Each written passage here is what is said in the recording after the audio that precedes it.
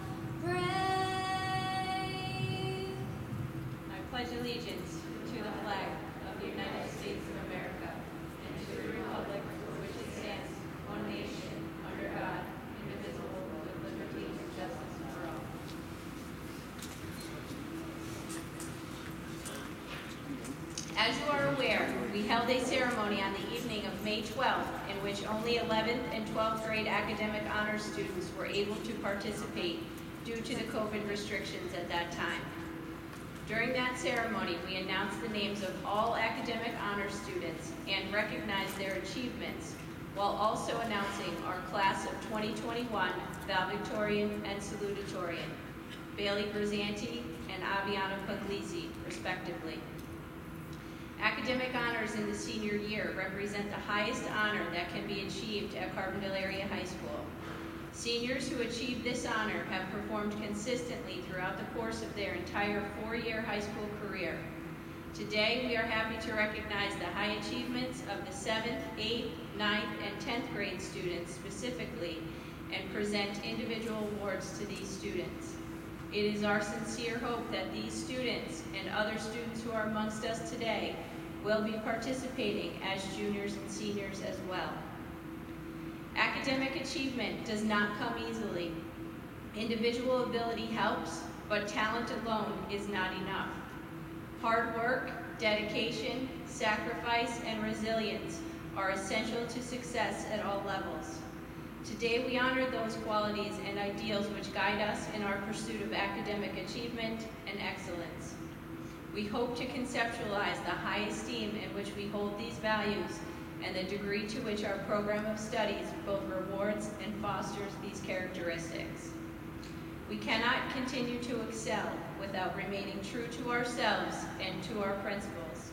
Such is the message in the words of David Harold Fink and William Arthur Ward, which Caitlin Burns will share with us now.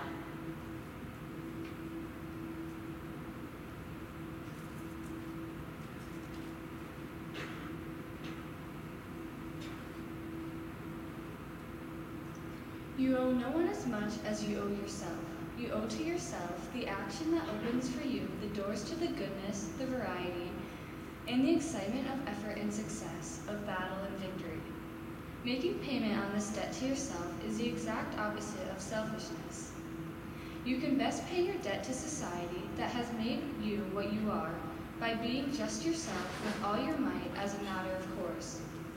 You fulfill the promise that lies latent within you by keeping the following promises. I will do more than belong. I will participate. I will do more than care. I will help. I will do more than believe. I will practice. I will do more than forgive. I will forget. I will do more than teach. I will inspire. I will do more than dream. I will work. I will do more than give. I will serve. I will do more than earn. I will enrich. I will do more than live. I will do more than be fair. I will be kind. I will do more than be a citizen. I will be a patriot. I will do more than be friendly. I will be a friend.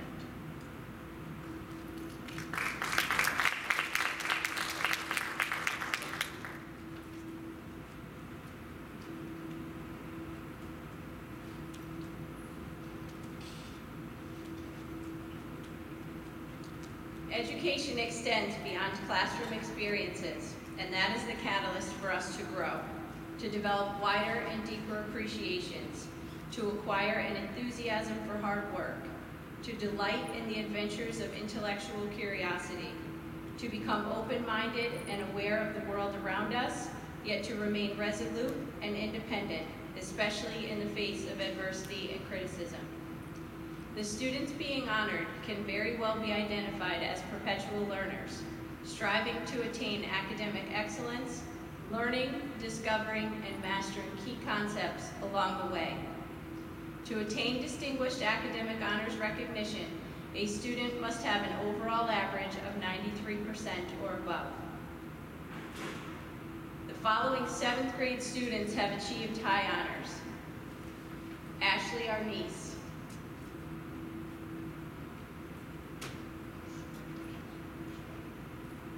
Ella Casper.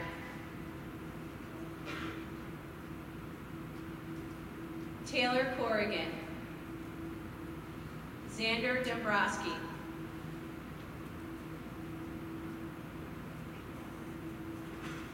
Samuel Duplessis. Natalie Giordano. John Gorel.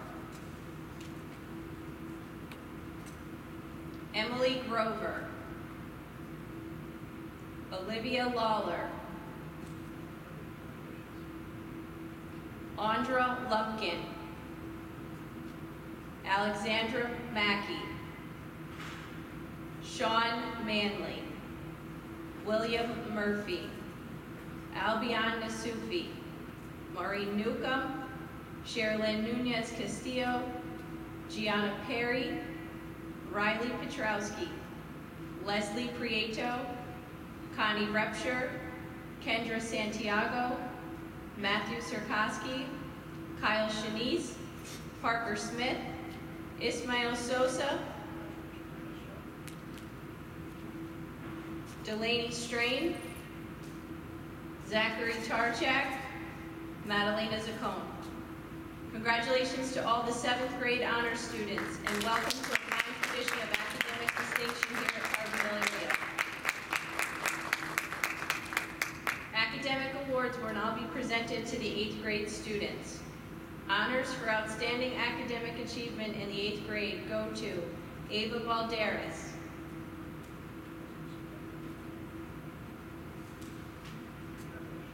Alexis Black. Alyssa Bump. Riley Brink. Caitlin Burns.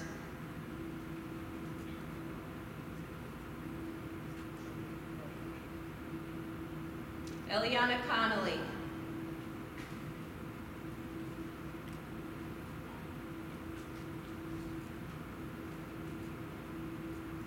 Shelby Deck. Michael DeRicci.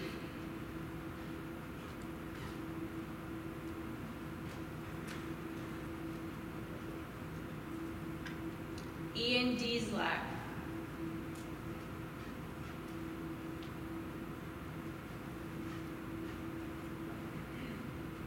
John Elko.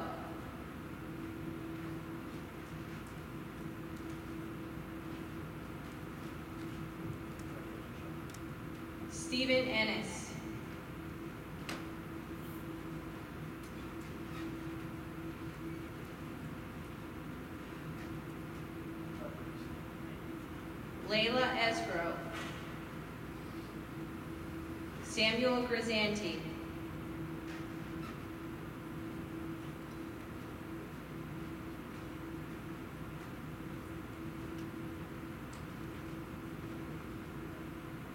Maggie Kane.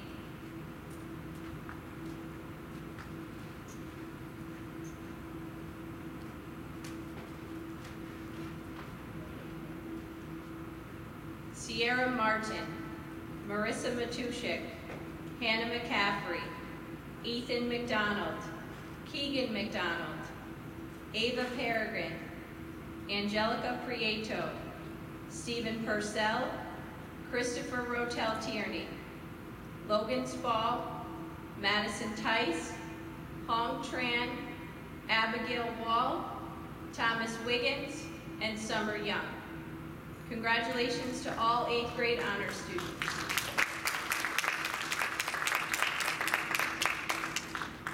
Excellence is something that many strive for and few attain. There are those who contend that the effort is more important than the outcome. However it is viewed, what is most essential is that we strive for excellence and make the most of our abilities.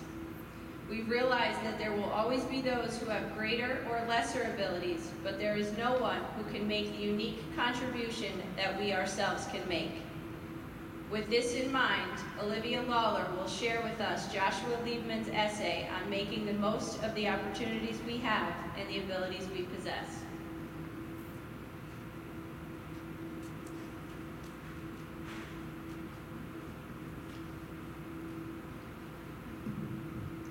No one of escapes limitations. Some people are gifted with their hands, some people are gifted in the realm of art or music, some people are gifted in the realm of abstract ideas. Almost no one is gifted in all three realms. We are limited, and we must accept ourselves with our limitations, recognizing that we can do what others cannot do, that we can contribute where others cannot contribute. To accept ourselves with our limitations means also that we will recognize how variable and flexible our lives can be. The great thing about life is that as long as we live, we have the privilege of growing.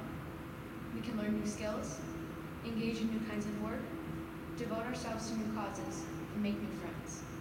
If only we will exercise a little initiative and refuse to become fixed or rigid. Let us, then, learn how to accept ourselves.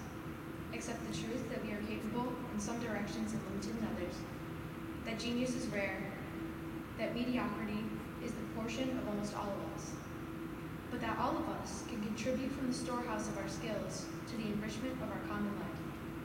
Let us accept our emotional frailties, knowing that every person has some phobia lurking within his mind, and that the normal person is he who is willing to accept life with its limitations and its opportunities joyfully and courageously.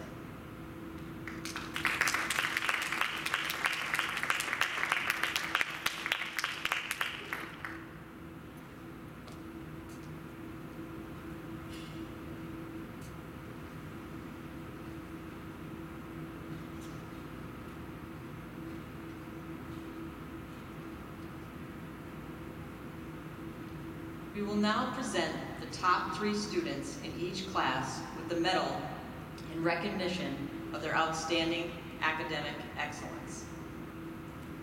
In the seventh grade, the silver medal for outstanding scholarship in the seventh grade goes to William Murphy.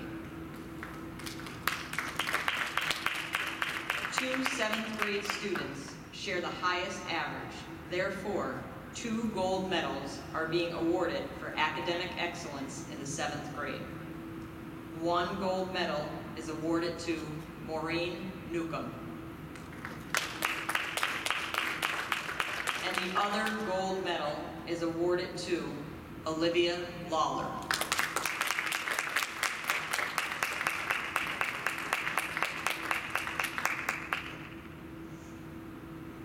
The bronze medal for academic achievement in the eighth grade is awarded to John Elko.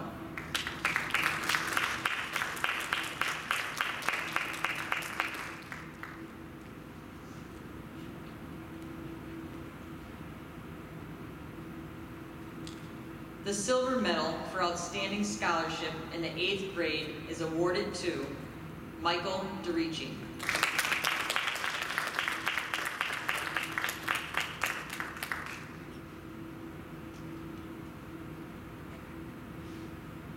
The number one student in the eighth grade and the recipient of the gold medal for academic excellence is Caitlin Burns.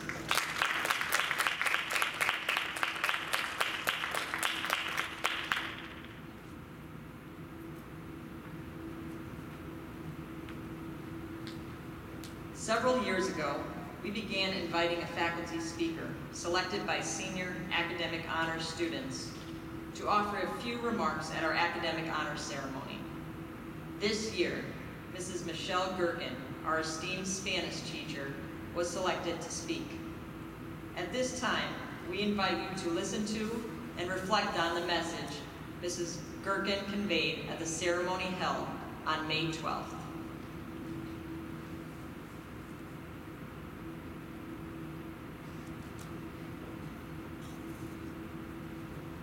Hola, good evening. It is an honor to have this opportunity to speak as we celebrate the academic achievement of these students here tonight. I want to begin by thanking Mr. Farrell, the administration, teachers, staff, parents, and families who are here with me tonight as we recognize these individuals. As I look at this group of seniors, out of the 25 of them being recognized tonight, I have taught five of them for two years, eight of them for three years, and 11 of them for four years. Not many teachers can say that they have the chance to teach the same students for multiple years in a row. I am truly lucky to have the pleasure to do so. Over the years, I have seen them mature, most of them anyways, and they've all changed into unique individuals. Not only are these students academic scholars, Many of them have other athletic, musical, and artistic abilities that have shaped them into the people that they are today. I have thoroughly enjoyed teaching these talented young ladies and gentlemen. Due to the pandemic, the past year has been filled with great uncertainty, which can be very unsettling for anyone. These students here tonight, however, have overcome this and maintained their dedication to their studies. We spent two-thirds of this school year learning from home. As a teacher and a parent, I understand how difficult this was. It is easy to succumb to the distractions at home, to skip a class, or to tune out a teacher just by turning down the volume on your computer. You have all had to become more independent and responsible in your learning. It is easy to complete work when there is a teacher in the classroom, walking around, giving guidance and encouragement, and to keep you on task. However, at home, it is easier to close the books when things got too difficult, or when you were just not mood for learning. The students here tonight attended class regularly, completed their work, and strive not just to do well, but to excel. A word that we have heard a lot through this pandemic is perseverance. The definition of perseverance is the persistence or the continued effort in doing something despite difficulty or delay in achieving success. These students have obviously achieved success as they are here tonight through their continuous hard work and effort to maintain good grades. They have persevered this year, and they will continue to do so in the future. Abigail Adams said, Learning is not attained by chance. It must be sought for with ardor and diligence. I believe each one of them understands the importance of a good education and will use what they have learned this year in the future. As a teacher, I would be remiss not to use this opportunity to teach my students something. As most of you have spent several years with me, you know that I can get very nervous. I cannot hide it well. It is very obvious in the shades of red that my face take on. The only person that I know that gets a little redder than I do is Mr. Farrell when he's angry. However, none of these students, I'm sure, have ever experienced this because they are all very well student, well-behaved students. Speaking in front of large audiences, as well as writing a speech, are not my forte.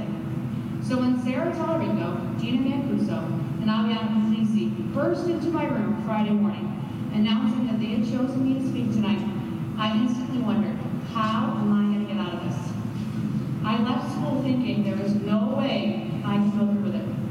However, over the weekend, I realized what an honor it is that these seniors chose me.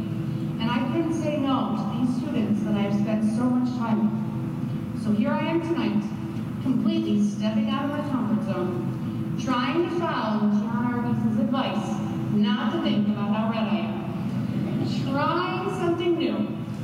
But something new yet different from the norm teaches you to have more confidence in yourself.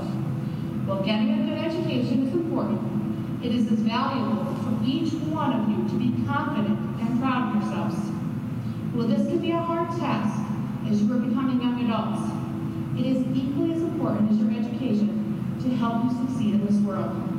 So I challenge each one of you here on stage tonight and as well as those of you in the audience, to step out of your comfort zone every once in a while and try something new. While you may fail, you are also learning. It has been said, the one who falls and gets up is stronger than the one who never tried. Do not fear failure, but rather, fear not trying. As I close here tonight, I want to say congratulations to the students for all of your hard work, perseverance, and dedication. And congratulations also to the parents for raising such wonderful, dedicated children that I've been able to spend my time with. The Carbondale motto is once a charger, always a charger. To put a Spanish spin on it, nuestra casa es su casa. Our house is your house.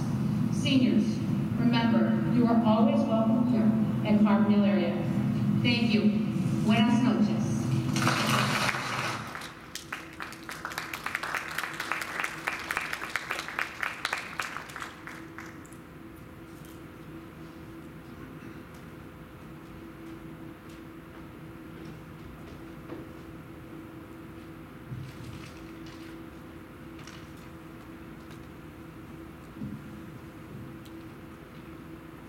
Congratulations to each of you. This has been a very difficult year for education due to the pandemic. It's been a difficult year for your teachers and a very difficult year for you, the students. But faced with adversity, the students on this stage worked hard. They overcame obstacles and they achieved academic excellence. I'm so proud of each and every one of you. You have made the school proud, your teachers proud, most importantly, your parents and your family proud. Keep up the good work. Continue to do great things. Continue to work hard, and great things will continue to happen. If you can accomplish academic excellence during a pandemic, you can accomplish anything. To honor and thank you for your hard work and accomplishments, we will be having a breakfast in the cafeteria at the conclusion of today's ceremony. Again, I want to thank you all, and I want to congratulate all of the recipients that are sitting on this stage today. You've made us all very, very proud. This will conclude today's ceremony. And as you know, we are going to go back to our regular classes. We are going to dismiss row by row. I'm asking that you remain seated while your teachers dismiss you. Uh, this is new to the seventh graders. We haven't really had any assemblies this year. Uh, but we all stay seated, and your teachers will send you back to your class row by row. So